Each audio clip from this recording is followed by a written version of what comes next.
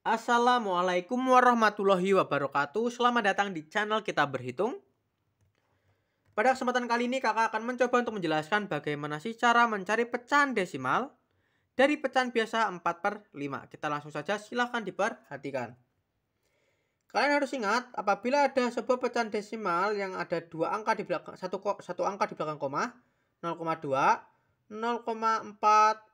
0,6 0,9 dan lainnya ini pasti per 10 2 per 10 4 per 10 6 per 10 dan 9 per 10 dan apabila ada dua angka di belakang koma 0,25 0,65 0,16 dua angka di belakang koma ini pasti per 100 per 100 0,25 25 per 100 0,65 65 per 100 0,16 16 per 100 paham?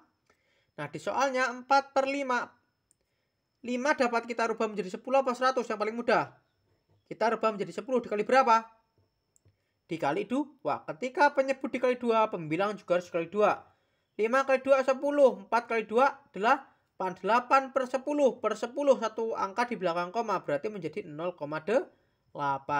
Sehingga kita telah menemukan pecahan desimal dari 4 per 5 yaitu 0,8.